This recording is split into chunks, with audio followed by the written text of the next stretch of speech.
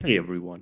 In this video, I'm going to show you a nice trick to add animations across multiple elements in your Storyline e-learning module, all by using just one trigger on the master slide. This is especially handy for large projects with lots of interactive elements where you want a uniform animation effect. This is a really powerful tip because if you change your mind down the line and want your interactable elements to have a different animation applied, you only need to make the changes in one place, on the master slide trigger. You don't have to go through all the slides with the format painter or manually change animations. You don't have to do all that. This can really speed up your workflow. Now let's see how you can implement this using Storyline. I have some slides here and a bunch of individual cards I use to describe each race. I've given 3 descriptions to the elves, 7 to the dwarf lords, and 9, 9 descriptions to the race of men. Now your interactable elements can be anything you like. In my example, I use these card elements. Each card is basically a group. Here I have a shape, a text box, and a PNG icon. On the other slides is just a group of a shape and a text box. This one card here can be clicked to reveal more information. So as you can see, even though they are all cards, they don't all look the same and don't have the same functionality. What I want to do is add a hover animation to all of the cards across all slides. Let's say I want to apply a hover animation that moves the card up when the mouse hovers over it and moves the card back down when the mouse hovers out. To do that, when the timeline starts on a slide, I would need to scan for all the elements which are of type card, then add an animation on mouse hover. Then reverse that animation when the mouse hovers out. First, I need to grant the code a way to know which elements are of type card. To do that, I will select each group and add an accessibility name to it. I've called all the cards interactable this is their accessibility name. Now you can give them whichever name you want. Just make sure that all the elements you want to animate have the same name. The safest way to actually select the whole group is by right clicking uh, them here on the timeline, otherwise you might end up selecting the individual elements inside the group.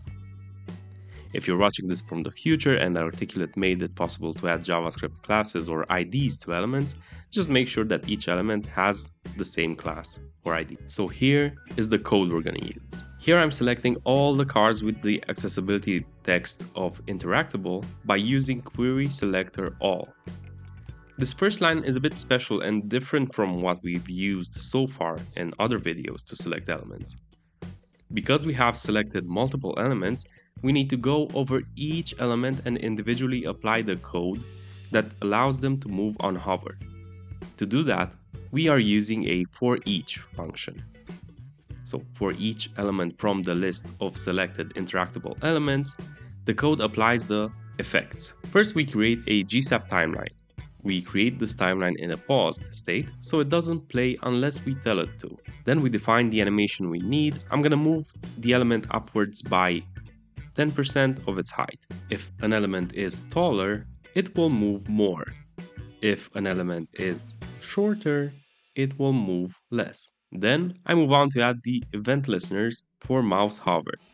When the mouse hovers above the element, I play the animation defined in the timeline. Once the mouse hovers out, the timeline animation will reverse, bringing the element back to its initial position. Obviously, here you can listen for other events as well. You can make something happen when the element is clicked, or when the mouse wheel moves, or whatever.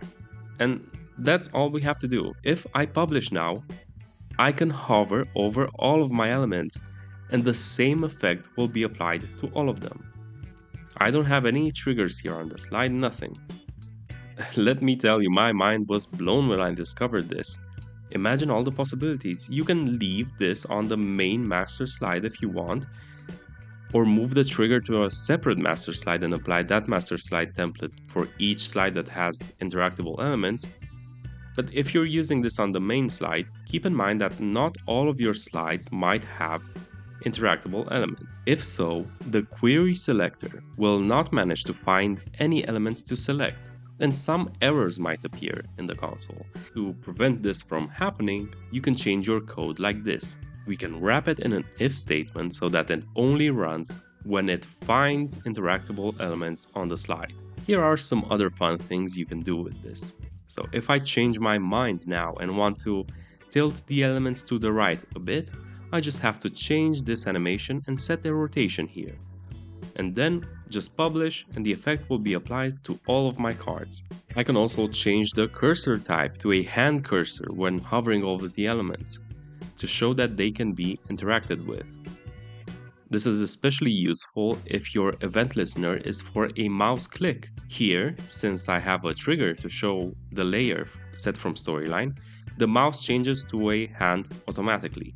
But if I were to add a mouse click event listener to my cards, I would have to manually change the cursor to a hand on hover to provide that little bit of user feedback that hey, this is an element you can interact with. I can also set up a different animation for my buttons like this. Maybe lower the opacity on hover, which I like to do, which basically adds a hover state to them. So I just need to make sure that all of my buttons have the same accessibility name. Since I'm using the same image for all of my buttons, all I have to do is go here to my media library and add the accessibility text button to all of my button images. That's it. With just one trigger, you can now add interactivity to items across your e-learning module.